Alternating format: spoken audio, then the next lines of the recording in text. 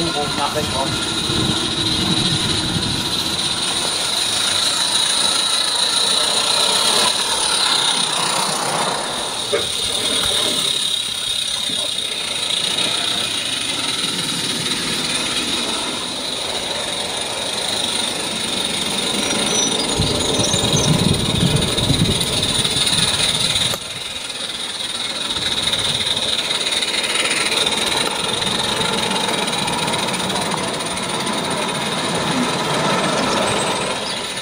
Probably her with it falling over.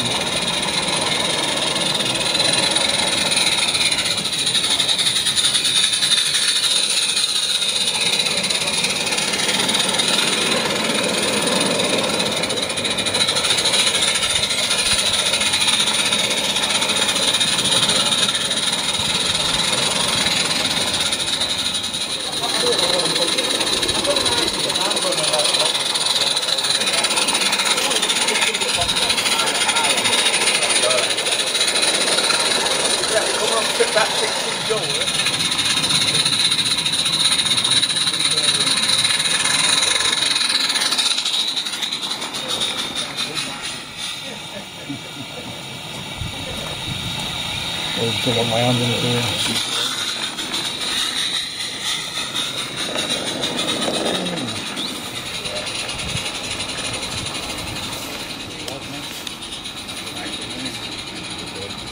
Cậu ở ngoài.